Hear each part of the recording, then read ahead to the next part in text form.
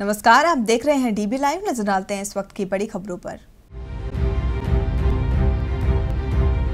Film अभिनेता ओमपुरी को नम आँखों से दी गई अंतिम विदाई। बॉलीवुड के कई सितारों ने दी श्रद्धांजलि। आज मुंबई में दिल का दौरा पड़ने से हुआ था निधन। समाजवादी पार्टी में सुलह की कोशिशों पर फिर लगा ब्रेक। घंटों देर तक चली मीटिंग में नहीं बनी बात। वहीं खुलकर सामने आए अमर सिंह ने रामगोपाल यादव से मांगा आरोपों पर सबूत।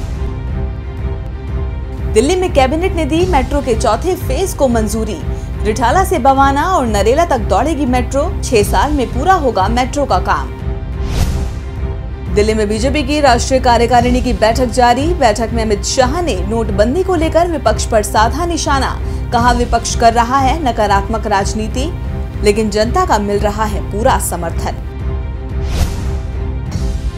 नौगाम में पकड़े गए पाकिस्तान के ज़िंदा आतंकी बहादुर अली के खिलाफ चार्जशीट दाखिल।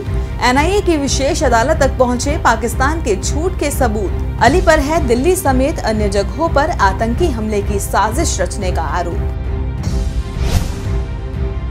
और पुणे में इंग्लैंड के खिलाफ टी और वनडे सीरीज़ के लिए टीम इंडिया का ऐलान। धोनी के कप्तानी छोड़ने के बाद कोहली को मिली तीनों फॉर्मेट्स की कप्तानी। टीम में युवराज सिंह और आशीष नेहरा की भी वापसी। तो ये इस वक्त की बड़ी खबरें। देखते रहिए डीपी लाइव, क्योंकि यहाँ है खबरें लगातार।